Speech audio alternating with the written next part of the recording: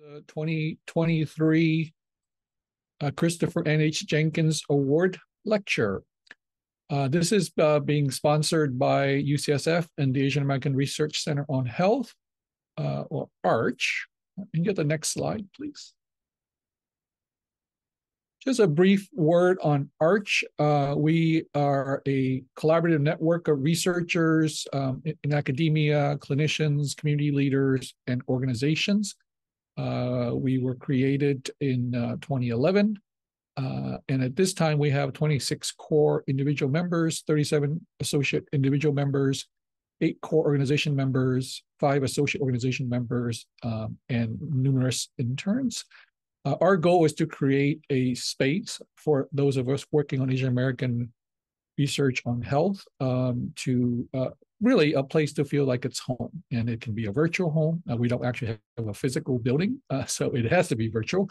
Um, happy to have you join us. Uh, we try to not to um, spam you too much. Uh, our emails, I believe, are fairly high quality. Uh, in terms of uh, job opportunities, grant opportunities, collaboration opportunities, and a newsletter that we put out every couple of months to summarize the current uh, sort of publications on Asian American health um, research. Uh, we'll drop in the chat. Uh, I'm actually, you can go to the uh, uh, uh, the website that you see there, asianarch.org, to sign on our mailing list. Next slide, please.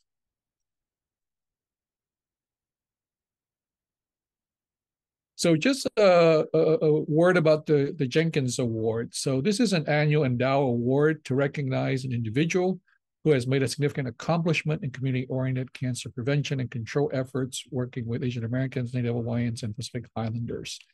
Uh, we uh, usually show a video of Chris uh, Jenkins, who this is named after. Uh, to, this year we will not. Um, just a few brief words about Chris. Uh, Dr. Steve McPhee and Chris Jenkins founded the Vietnamese Community Health Promotion Project uh, at UCSF in 1986. Uh, it was probably one of the first, if not the first, community academic collaboration uh, interested in conducting uh, certainly Vietnamese American health research, but uh, certainly one of the first working on Asian American health. Um, and Chris and Steve and the project staff conducted some of the very first community-based interventions in cancer control, uh, including uh, cervical and breast cancer screening promotion and tobacco control and hepatitis B vaccination promotion among Asian Americans in the 1990s and early 2000s. Uh, during the 1990s, Chris also helped to found the Asian Pacific Islander American Health Forum, uh, the Asian American Network for Cancer Awareness Research and Training, and the Vietnamese Reach for Health Coalition, all of which have had long-lasting uh, effect. Uh, and uh, in his honor, uh, when he passed away, um, uh, uh, his friends, colleagues, and family created this top, this award to recognize, as we said, someone who's made significant accomplishments in community-oriented cancer control efforts for our communities. Um, next slide, please. Uh, the list of previous Jenkins Award recipients uh, are here. Uh, they they read to me at least uh, like a uh, roll call of uh, sort of what we could say the originators of Asian American cancer research in this country, including some really important policies makers, community and patient advocates, academic researchers, and others. Next. Uh, so at this point, I wanted to uh, call uh, Dr. Janet Chu up to as the nominator for Dr. Uh, Scarlett Lin Gomez to say a few words about uh, her nomination for Dr. Gomez. Thank you, Tung.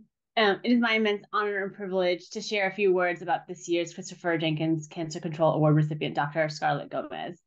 Today, we are recognizing Dr. Gomez for her impactful contributions to advancing cancer control efforts particularly in Asian American, Native Hawaiian, and Pacific Islander populations. For the past two decades and more, Dr. Gomez's research has advanced our understanding of cancer health disparities and their multi-level drivers. She's effectively leveraged her roles as an epidemiologist, community leader, and researcher to continually advocate for resources to meet the needs of our most underserved populations. In Asian American research, we talk a lot about the importance of and many times lack of disaggregated data among our diverse ethnic subgroups. And Dr. Gomez has made significant contributions to improving the systematic collection associated demographic data in healthcare settings and in research in understudied populations. She also developed the California Neighborhoods Data System, which is a compilation of small area level data on social and built environment characteristics.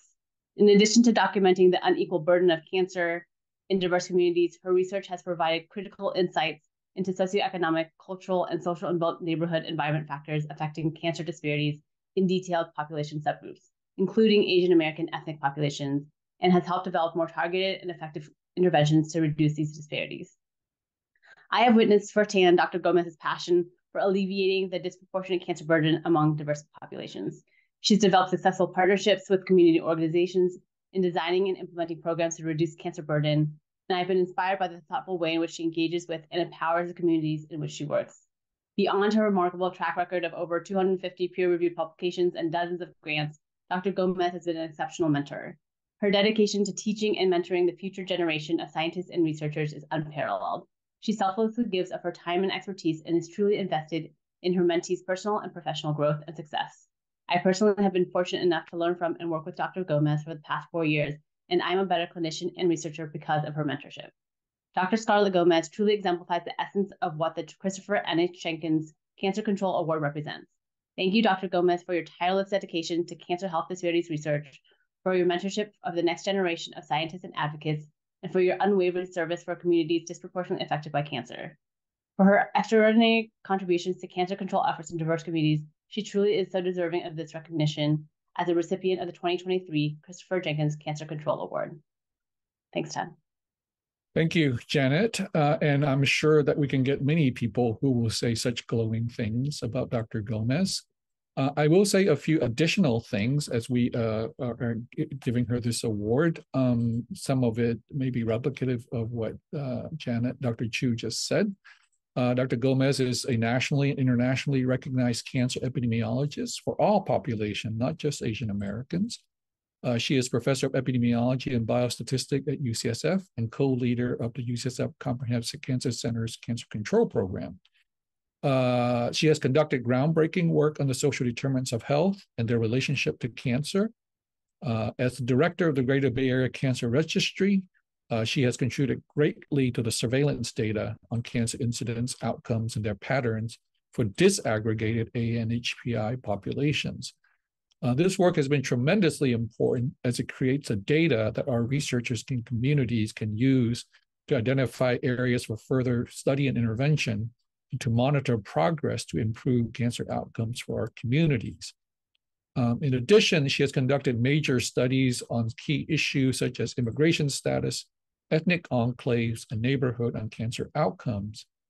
Uh, Dr. Gomez currently study important topics such as explaining why there are high rates of lung cancer among Asian American women who never smoked, uh, disparities in breast cancer prognosis and outcomes among Asian Americans, how to use registries to understand cancer survivor experiences, and how to use technology such as patient portal and patient and also patient navigation to improve treatment adherence and quality of life among Asian American cancer patients.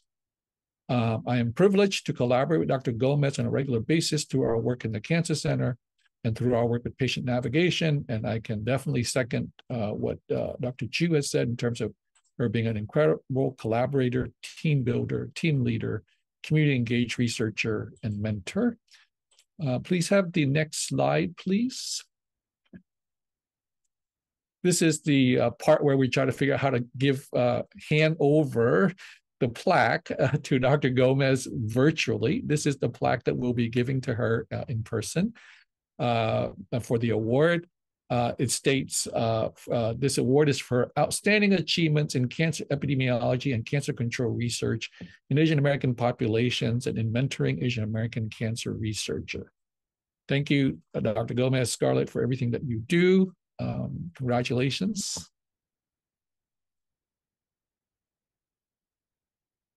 Thank you so much, Tom. Thank you so much, Janet. That's you sure know how to make a girl blush. Um, I'm going to go ahead and start my slides. Um, but think before I launch in, I, I, wanted to just say a few words. Um, again, thank you, Janet, so much for nominating me and, and for all of your words. Um, and thank you, Tung, and to the ARCH leadership for this incredible honor. Um, I unfortunately did not have the pleasure of meeting Chris Jenkins personally, but I certainly have been very familiar and today certainly benefit from his legacy and all the work that he's done among our Asian American, Native Hawaiian, and Pacific Islander communities. And I just want to say that every single person that I've met who has known Chris speaks of his kind nature. And from the picture that Tom put up, you could certainly see it in his um, in his eyes. And I know that this award is meant to be a recognition of my my group's contributions in the space of cancer control in Asian Americans, but I actually see it as a handing off of the baton from that that that roster, that Tung show, that incredible group of prior award recipients, and I see it as a handing off of the responsibility to carry on the work um, in this in this in this area. This this is a, a relay race, um, not just against cancer and its impacts on our communities, but also um, a race to dismantle the structures and systems in place that reinforce and verify cancer inequities in our Asian American communities so just sort of where where did I start in, in this whole journey? Um, like many of us first generation Asian Americans probably here in this virtual room, I was pre-med in college. I found myself drawn to Asian studies and unbeknownst to me, throughout my epidemiology training um, in the uh, Master's in Public Health program at Michigan, and then throughout my internship, which led to my job as an epidemiologist at the Northern California Cancer Center, subsequently became the Cancer Prevention Institute at California, it sort of all came together for me. I'd long wondered why there was this pervasive perception of there being a low burden of cancer among Asian American communities when, in fact, we were personally seeing cancer occurring in our families and in our community members. So I knew then, this is sort of where it all clicked, that the tools that we're taught to use in epidemiology could in fact be used to address this yet another model minority myth we could in fact use the power of data and how we look at and report the data to dismantle this myth. So that was 25 years ago, as, as um, Janet mentioned. And since then, I've been just so fortunate to be surrounded by and inspired by so many people along the way, many in this virtual room who share this passion. And we've been able to say that we've actually been able to make some meaningful contributions to providing disaggregated data for Asian American ethnic groups, and that in turn have helped to show that in fact cancer is a very real problem in many of our Asian American communities. And these data have helped to inform research aiming to identify, aiming to address these identified problems it's such a great professional joy to see to hear somebody who've come up um, who comes up to me to say that they've used our data to be able to justify or receive funding for a particular project that they're conducting in asian americans. And even more meaningful is hearing from patients and community members about how the research has personally affected them and to finally see themselves reflected in the data so I'm going to talk just a bit today about just a snippet, a snapshot of some of the uh, cancer epidemiologic research studies in Asian American populations that we're working on, and um, to illustrate how we start with data observations as the scientific rationale for, conduct, for conducting more in-depth studies, but how really at the heart of all these data heavy epidemiologic research studies are the voices of patients and communities that inspire us in this work. So with that, I'm going to start my talk. Um, just some basic demographic data on Asian Americans in the US. So these are data um, from the 2010 and 2020 census. It's comparing changes in the Asian American population over these past 10 years. And in fact, this is the most rapidly increasing racial and ethnic group in the US. This population increased by almost 40% over this 10 year period. And you could see shaded by the states that are shaded um, in the darkest um, purple colors are those that have seen the largest increases in growth of this population. This is from the 2020 census data showing the percent of the population uh, across each of the states that's um, identified as Asian American. And so many of these are the states that I think we're very well familiar with Hawaii, um, California, Washington State, some of our East Coast states. But interestingly, you also see that almost across the board, across the US, there certainly are groups or states where, with um, increasing representations of Asian Americans. So I think I don't need to um, make this point to this audience because this is, we know this. Um, this is a highly, highly heterogeneous population. We have national origins from more than 30 countries, collectively speaking more than 100 different languages.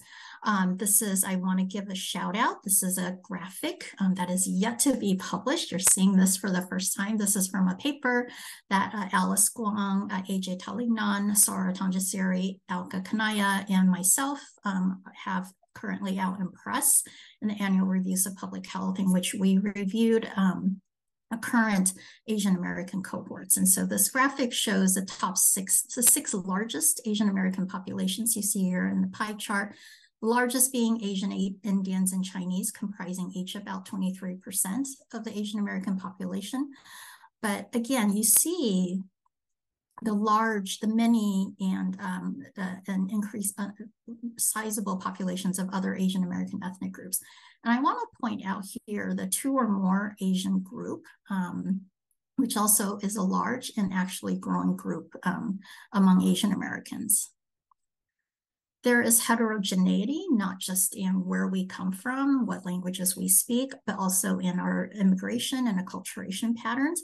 And we see this reflected in our sociodemographic characteristics. So this is uh, the, this is a bar chart showing the percent who speak English uh, less than very well. And you see that it ranges here from um, a high of 64% among Burmese, well, nearly 50% among some of our Southeast Asian groups, to um, much lower proportions, under 10% among our Native Hawaiian and Pacific Islander groups. We also see heterogeneity in other another metric of percent living in poverty.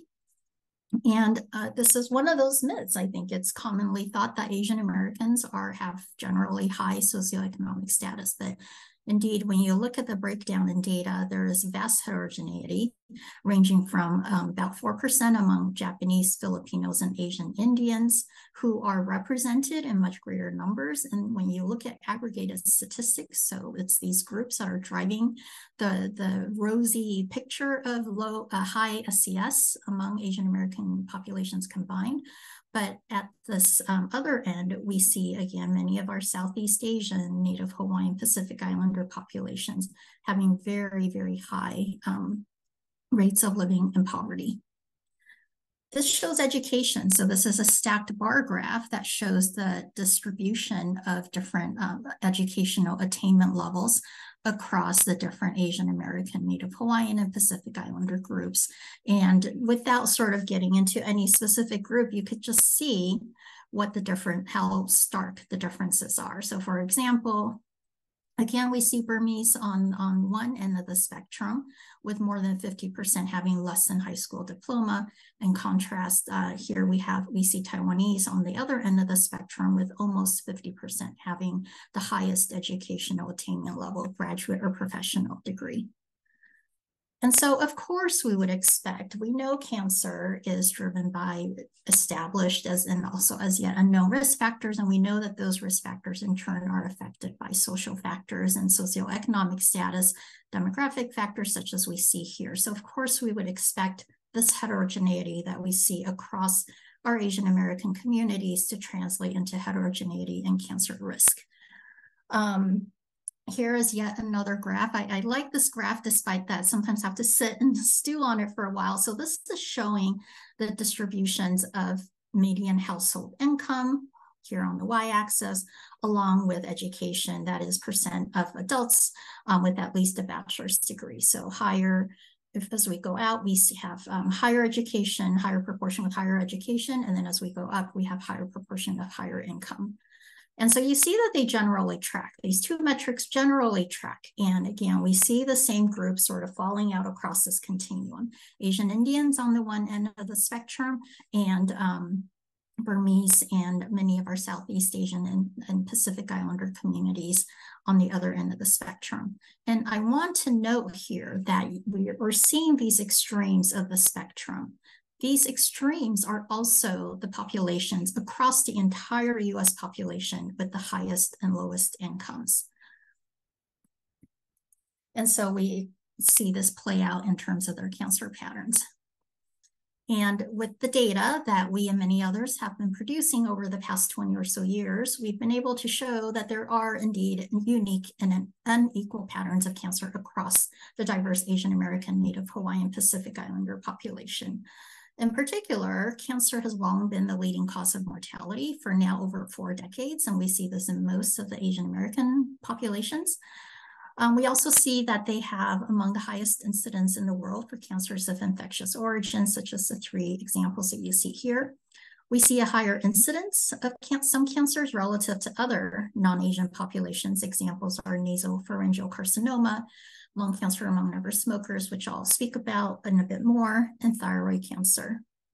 We also are seeing rapidly increasing incidence trends, such as for breast cancer, which I'll also touch upon in a bit, uterine cancer, and thyroid cancers. And we also know that there continues to be persistently low cancer screening rates among many of these groups. And of course, uh, many of these groups experience unique healthcare access barriers. So I want to talk about two examples, uh, three examples of some of our work. Um, the first is focusing on lung cancer. We know that lung cancer is a leading cause of cancer mortality, and we know when we see this among Asian American populations as well. So what this table is showing here is based on vital statistics data, the rank based on age-adjusted mortality rates and the percent of all cancer deaths of the top five cancer sites for males in this top panel and for females in this bottom panel. Among across all of these Asian American ethnic groups shown here, lung cancer is the top contributor to mortality, comprising nearly up to a third of all deaths due to cancer.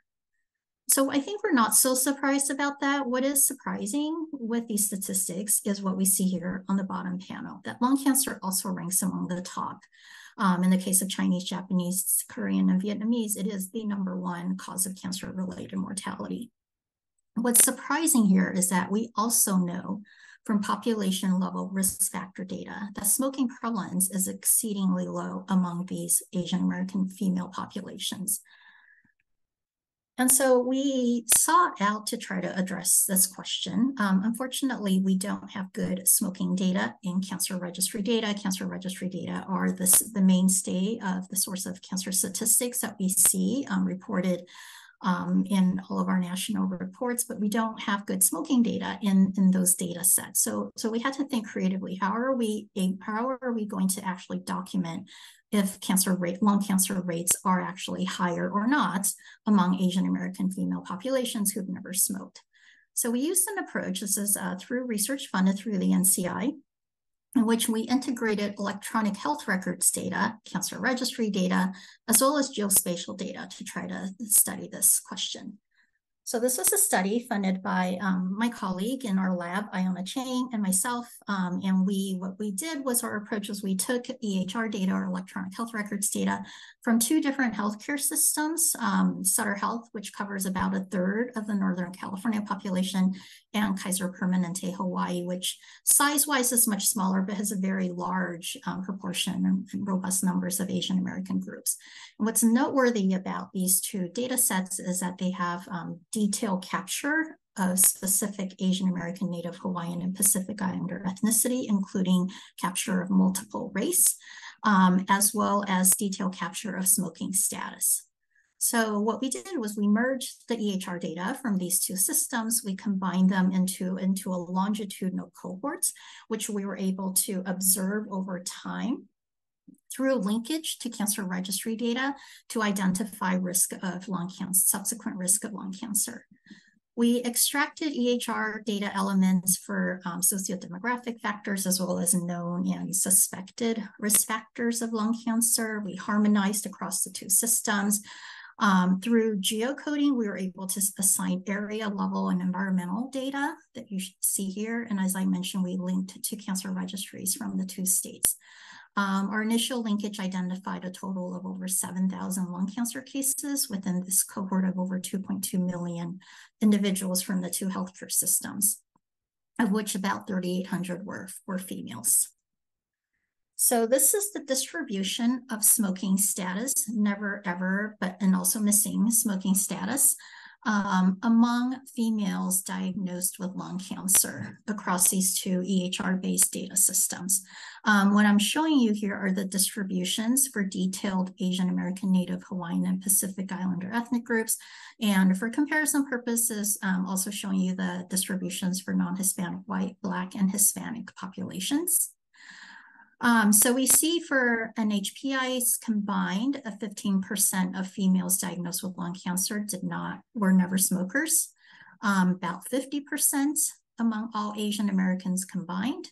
And this is compared to 21% among non-Hispanic whites. But focusing on the highest and lowest, um, we see among Native Hawaiian, other Pacific Islanders, 14 to 20% were never smokers, and 79% of Chinese females diagnosed with lung cancer are, were never smokers. And so I just want to kind of pause and, and let the statistics sink in. Um, so among Chinese American females diagnosed with lung cancer, these are women with lung cancer, nearly 80% have not smoked. And of course, all of these cases here are not eligible for screening according to current screening guidelines.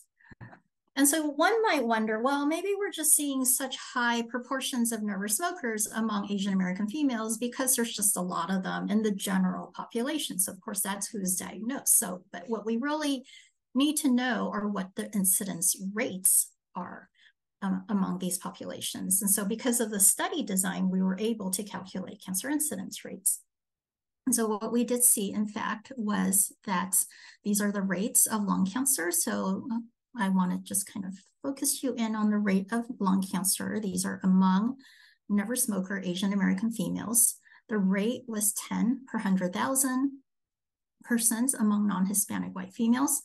And for every, almost every Asian American, Native Hawaiian, Pacific Islander group, we saw higher incidence rates um, with the interesting exception of Japanese Americans, but this seems to be a pattern that's really playing out across a lot of our studies um, across a number of different cancer sites. But so this actually translated into a higher, about a 1.5 to two-fold higher rates of lung cancer among Asian Americans compared to non-Hispanic whites. Um, and so this is all among female never smokers.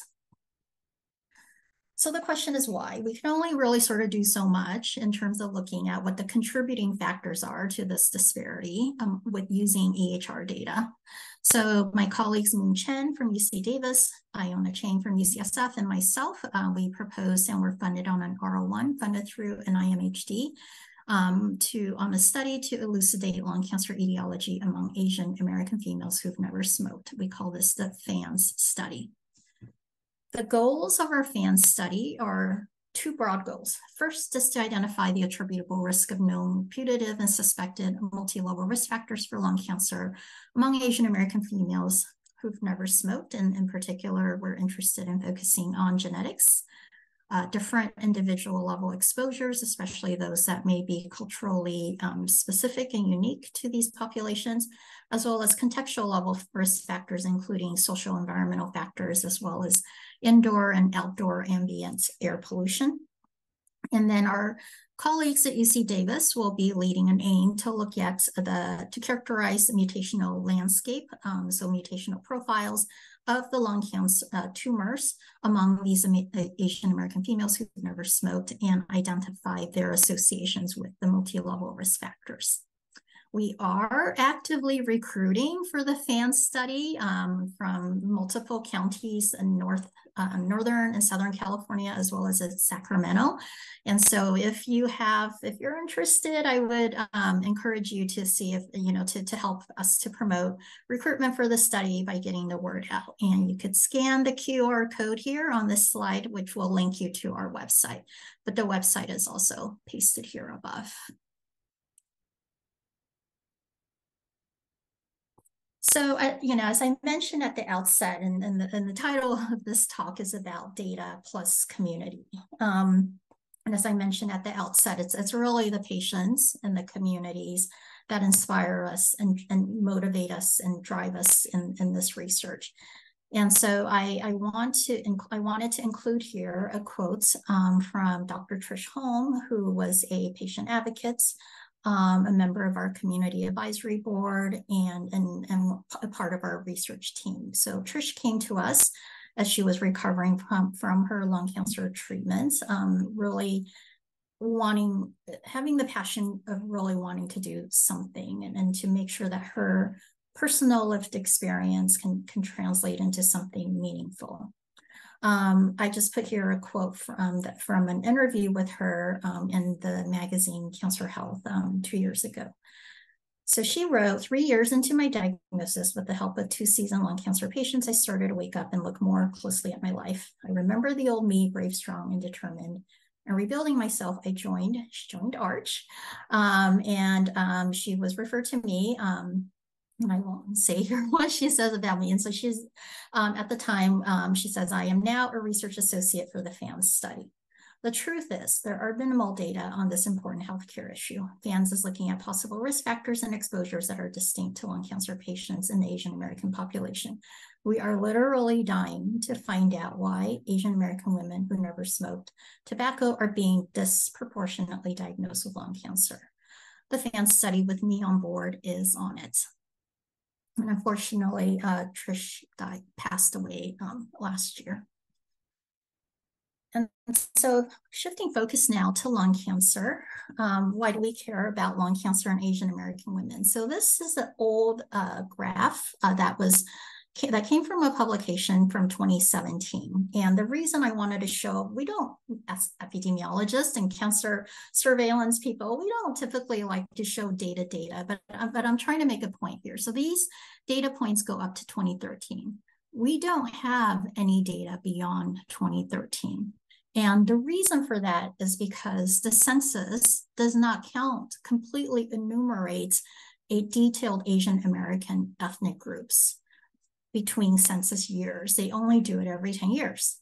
Um, and so without that data of the popu- that measure that counts our population at risk, we're not able to continue the surveillance until we get the next decennial census data, um, which just came out in 2020. So we're sort of stuck here. We certainly are capturing this data at the numerator level within our cancer registry data, but without that denominator data that comes from the census, we're just stuck.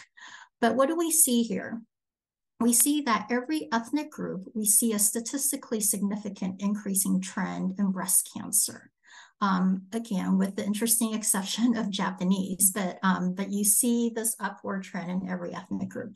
This very top line is a trend graph for non-Hispanic white women, and, and it's been generally flat um, for the past uh, 20 or so years we did another interesting study. Um, this was based on a pilot case control study called the Asian Cheese Study. And um, Dr. Brittany Morey, who is now at UC Irvine, and Dr. Gil Gee um, from UCLA, we collaborated on this analysis. And what we showed was potentially a reversal of breast cancer risk factors when we look at compare US born to foreign born. So I want to just kind of walk you through this table a little bit. This first column these odds ratios and 95% confidence intervals are minimally adjusted. So they're just adjusting for the matching factors of frequencies of age and Asian American ethnicity. The second column, the second set of odds ratios are adjusted for known breast cancer risk factors. And so what we were interested in doing was to see what was the risk of um, what's the what's the difference? So what's the relative odds of breast cancer risk when you compare foreign born to US born? And we saw that risk was actually higher among foreign born compared to US born. And no matter which way we cut it, whether we looked at foreign born who've spent less 50% or more of their life in the US compared to less foreign born based on what year, what age they immigrated at, foreign born based on how long they've lived in the US, we saw this increased risk. So initially, of course, I this was Brittany's um, dissertation. I thought, no, no, no, we must have coded this wrong. This is not what we understand of breast cancer risk. What we understand, a traditional understanding, is that you know, in Asia, you start out having low risk, you come to the US, and with subsequent generations, your risk increases as you become more acculturated and you adopt all these different risk factors associated with increased breast cancer risk. So, so this can't be right. Check your coding. she did, and and and this is what we see. And so we we published this and and our and we and we attempted to understand this pattern because this is the first time we've ever seen this.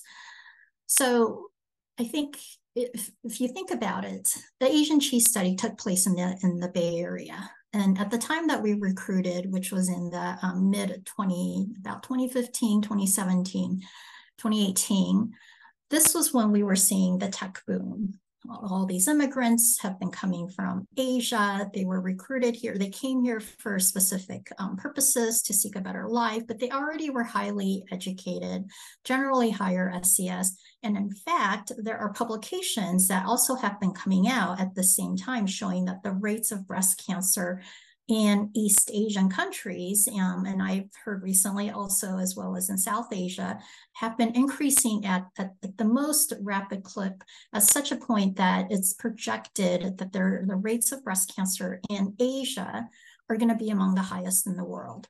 So if those are the people who are coming here and coming here in a way that they can afford to live in the Bay Area, um, they're a very different type of immigrants compared to the you know immigrants um, from, for example, my parents' generation.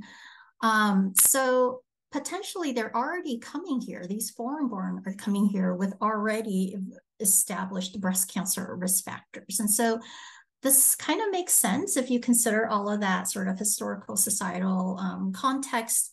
Um, but this was a small pilot study. You could see that the confidence intervals were big and certainly needs replication.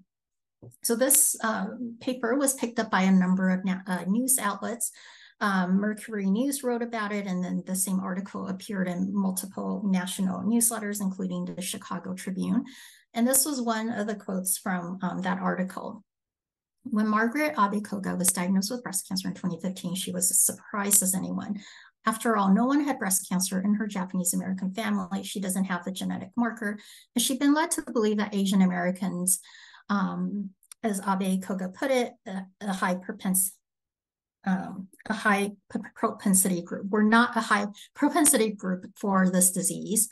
The results from the study stunned Abe Koga, age 46. For generations, she said Asian Americans have been under the wrong impression that breast cancer is not prevalent in our community. So it's not something that people think about.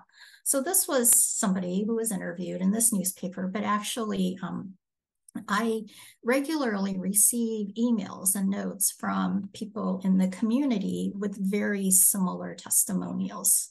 So they're not, we're not reporting the data. And the data that are being reported based on all of us aggregated together, again, is painting this rosy picture. Well, since then, just a couple months ago, the, these results were replicated. Um, so this was a paper that came out just a couple of months ago in CEBP from um, our colleagues Esther John from Stanford. So she, um, I was not involved in this study at all. And she told me when it was about to come out, she said, you know, Scarlett, I saw your paper. I was really surprised by it. I was kind of skeptical of it. And I thought, hey, I have the data set. I can look to see if we're seeing the same patterns in our studies. So she saw the same pattern. So what does she do? She compared also foreign born to US born, but because her study was much larger, she was able to look at two separate birth cohorts, an older birth cohort and a more and a younger birth cohort. And what she saw was that there was that this elevated risk of breast cancer among foreign born compared to US born was actually stronger among the younger birth cohorts. She then, like us, cut her data a number of different ways. So she looked at it among Chinese, comparing foreign born to US born, and saw almost a two, uh, more than a twofold higher risk in this more recent birth cohort. Among Filipinas, same thing. And then she also looked at it among all the Asians in her in her study, but by uh, language of interview, and um, saw also that and saw interestingly that those who speak Chinese um, for their interview actually had almost a fourfold higher risk. And I want to note, even though it's in small print here in the footnotes, that these odds ratios are adjusted for num for all of the established breast cancer risk factors. So this is given what we know about breast about um, uh, breast cancer. There's still this excess risk. So there's something else going on. It's not just simply because these are already women who already have all the known breast cancer risk factors. So there's there is something else going on. Um, this is uh, another graph. This comes from our annual report that our registry puts out. So this is now, again, we were not able to look at data for Asian Americans disaggregated because of denominator issues. Um, so this is looking at all Asian Americans combined. So probably the only time I'm going to show you aggregated statistics. So this is again all ages across California by race for all Asian Americans combined. And you see this blue line, the steadily increasing line. This is about a 4% increase in incidence trends over time for Asian Americans. Um, we also see a slight increase for Hispanics, but generally flat trends for um, non-Hispanic white and Black um, women. But look at the, the younger age group, the premenopausal or less than 50 age group, and look at this blue line. It's steadily increasing to such a point that at the latest time point, that the, um, which is 2019 in these data, the rate of breast cancer among young Asian American women is the highest of all these other racial and ethnic groups. Um, and I'll also note that a question was asked um, whether this is just due to screening. Are we just picking up now on screening? And so these are all early stage breast cancer. So we've also looked at this by stage and the rates are indeed going up across all stages of disease. And in fact, the highest percentage increase is seen among distant stage disease. So this sort of led us to ask whether there are distinct breast cancer, this perhaps there are dis- if, if there are distinct um, differences in what we see in breast cancer among Asian Americans compared to other ethnic groups. Um, from some prior research in collaboration with um, Stanford um, clinical colleagues, we found that there are more HER2/neu tumors. This has since also been replicated by studies in Asia. There are also distinct age-specific incidence curves, which we found that, that the rates are as high as, if not higher, um, the non-Hispanic white women um, in premenopausal age, as you saw in the prior slide. Um, and then, but interestingly, rather than continuing to go up, the rates, um, breast cancer rates stay flat or actually decline postmenopausally. Um, we also see, as I mentioned, um, increasing rates of distant stage disease. And so in an earlier, that earlier publication, we looked at um, rates by stage and saw that the distant rate stage disease was increasing at a rate of 2% per year among Filipinos. So this led us to um, uh, let, write this editorial, um, my colleagues and I, of to ask whether breast cancer in Asian and Asian American women um, is in fact a different disease with a whole different set of risk factors.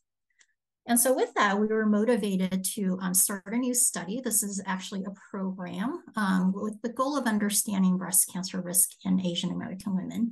We call this the CRANE study. Again, we are actively recruiting. I have to give a plug out. We're recruiting um, cases and controls um, from Northern and Southern California, specific LA, specifically LA County, um, in collaboration with USC. The QR code takes you to our website. You can um, register to participate in this study. Um, and it's uh, we are collecting epidemiologic data as well as some biospecimens, um, as well as environmental data. And really the focus uh, in this first phase is on experiences with discrimination and stress. And this is funded by the Breast Cancer Research Foundation.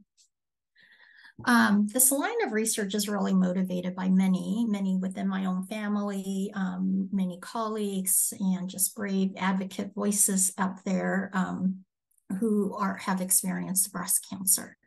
Uh, Susan Shinagawa, who is a prior recipient of the Chris Jenkins Award, um, emailed me actually. So this came from her email, and, and I had certainly known of her prior to receiving her email, and I've kept the email. So she wrote in her email I think many of us are familiar with Susan's story. My 1991 diagnosis was only obtained after I saw a second opinion following a surgical oncologist's refusal to biopsy a very prominent and palpable breast lump. The reasons he refused to perform the biopsy was because I was, quote, too young to have breast cancer, had, quote, no family history of cancer, and, quote, besides, Asian women don't get breast cancer. I believe the latter statement was made because of his familiarity with NCI SEER cancer data for quote API aggregated populations, which as you are well aware were then and continue to be reported in the aggregates. I have that surgeon to thank me for turning me into a fierce cancer advocate. Okay, so the, the third area of research I want to um, talk about is our work on neighborhoods. Why do we care about neighborhoods? Because I think the traditional paradigm of cancer research focuses on this part of the link between individual level health behaviors and cancer health outcomes. But this is actually, this, this, this part of the association is actually situated within a much larger continuum of influences on cancers. These are just the downstream impacts. In fact, we want to start to move upstream. We should start moving upstream. And so we, our lab has been doing a lot of work trying to focus on these upstream factors, these structural determinants of health, institutional and social inequities, as well as these social determinants of health, the, the conditions within which we live, play, work, and, and work every day. So specific to Asian American um, populations, and I have to thank my colleague in my lab, Dr. Salma Shariff-Marco, for this. I stole this graph from her. Um, we've been really interested in this idea of ethnic enclaves. Um, and so I led a study, a small pilot study long ago in which we thought, you know, we've been using census data to try to come up with a way to characterize socioeconomic status within neighborhoods. Why can't we do the same thing to characterize ethnic enclaves? So what are ethnic enclaves? These are ethnically, culturally distinct neighborhoods that comprise high concentrations of individuals of the same ethnic origin with high linguistic isolation and a large share of recent immigrants. And they also potentially can have many um, high proportion of ethnic businesses and resources. And these are the different mechanisms by which ethnic enclaves may impact upon health outcomes through having strong social networks and cultural cohesion, but also through experiences with discrimination, but potentially also buffering against that discrimination. By providing in language culturally tailored resources um, they may have though more environmental pollutants. They also do tend to have uh, tend to be of lower uh, SES, and they may have um, access to distinct food resources. So we've our group, and now um, this is work that's really led by Salma, and this is through an R1 that she co-leads with Sandi Pruitt from um, UT Southwestern called the Enclave Study. So we've really been trying to do methodologic work to advance our ability to look at, to measure ethnic enclaves and then consequently how they relate to health, cancer health outcomes. So these are the aims um, from Salma's study. Um, and I think what's really notable about this, um, this work, and this is funded through NCI, is that it's, it's the breadth of the coverage of this research, that, that it's focused on five states with large populations of Asian Americans and Hispanics is, is another focus of, of this project.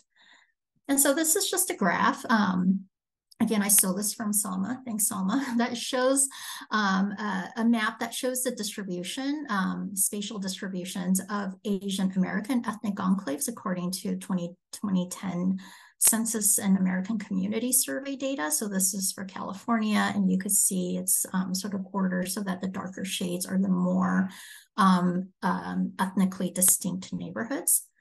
Um, this uh, within the study, we are also able to look at um, um, pop, um, neighborhoods that have high concentrations of specific Asian American ethnic groups. And so this is the Bay Area, and you I thought this was really striking because you could see very clearly the sort of, um, and we kind of know this, many of us who've lived in the Bay Area for a long time, we know that the Vallejo area and, and the Daly City area have a lot of um, Filipinos. Um, where I am right now today in Fremont, we have a lot of Asian Indians.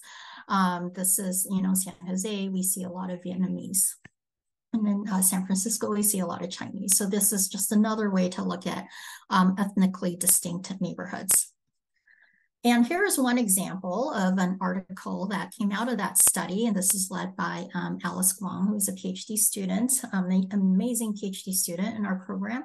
So what she did was she characterized neighborhoods across these five states on the basis of ethnic enclaves and looked at their association with uh, healthcare accessibility, as well as a number of different um, area level um, social determinants of health variables. But what was really, I think, innovative about the way that this was done was that she, we characterized ethnic enclaves in four different ways that try to capture the dynamic change over time. So these four ways are comparing data from 2000 to 2010. We captured whether um, an area was an enclave in 2000, but not in 2010. So these are former enclaves. Whether an area has never been an ethnic enclave, these are never enclaves. Whether an area has been an ethnic enclave in both decennial time periods, so these are persistent ethnic enclaves, and then whether an area um, was an, was not an enclave in the earlier time period, but it became an enclave later on. So these are emerging enclaves. Um, and these are just some selected metro areas from each of the five states. And you definitely can see the distinction between the four different typologies of enclave trajectories playing out and, and how they're sort of, you can sort of distinguish neighborhoods on the basis of these trajectories. And I think what was I pulled out one of the tables in here so you could sort of see how the data play out um, across these four different enclaves. So these are the four different types of enclave trajectories. And um, you could see, for example, the percent poverty was actually highest in the former enclaves and lowest in emerging enclaves. And similar pattern we see for percent uninsured, where it was the highest, almost 18% in former enclaves, um, and lowest in the emerging enclaves. So this um, research really shows us that in addition to just characterizing whether an area is an enclave or not currently, that it may be instructive to also consider how that neighborhood has changed over time. Okay, so I just want to end here by really sort of shifting our focus. We've sort of started to shift upwards, and you, you see in some of the um, research that I have been examples of the research that I presented that our, our group is doing that all of them, all of that research has a focus on neighborhood factors, social determinants of health and structural factors. Um, so this really is a key focus of our research, trying to bridge these factors from cells to society. Um, it's critically important and I, I, firmly believe that we need all of this so that data but plus the community aspect here is really essential in being able to mitigate inequities of cancer in asian american populations and so I want to put forth a call in action. I know those who are in this virtual room and, and from my group are like, oh, there's Scarlett goes again with her calls to action. But but I, I feel really passionate about this. And, and since I have this, ARCH was kind enough to give me this forum, I want to put this forth to all of you. So I my call to action to everybody is that we need to continue to recognize heterogeneity within our populations and aim to disaggregate. And this means advocating for data justice. Um, we need to do a critical assessment of this, you know, our sort of gut reaction, knee-jerk reaction, pro forma practice of always comparing to white data we need to focus on the impact of historical trauma and lived experiences, and the impact of upstream structural and social drivers, including structural racism and discrimination. And I think we also, it's really important, and, and we have a responsibility within those of us as epidemiologists to examine intersectionality, the, um, uh, the, the, what does it mean to, to identify not only as a, in my case, Taiwanese American, but also as a female, as somebody who lives in a certain type of neighborhood, um, and to consider our sexual orientation and gender identities within that as well. And of course, we need to continue to make sure that we are attentive to language and cultural needs so that we are maximizing inclusive inclusivity. Um, this was a commentary that um, a number of us participated in. It was led by, um, at the time, med student um, Christy. Um, this was published in CEBP, CEBP, and it was speaking to the um, increase in violence that we had been observing during the COVID era and really um, uh, encouraging cancer researchers to pay attention to, to these phenomena. Okay, so I think you've all seen the, that meme, the social inter the internet meme of how it started, how it's going. So so there's me on the left. Um, I'm, I'm the girl. That's my little brother, and that's my mom, and and that's how we started. And this that was our neighborhood in Taiwan. And how it's going is that I'm here today speaking to all of you and, and, accepting this award, which is just such an incredible honor. But it's really an award. It's not a, an award for, for just one single person. Um, it's really an award for all of us, um, and specifically in, in, my case for my lab, the Dream Lab. Um, and also my registry that I've had the honor of being involved in over the past 25 years. And so these are all the people in my lab. Um, and I want to, of course, acknowledge so many other colleagues and mentors and mentees that I've had the fortune of working with um, all these years. Thank you so much.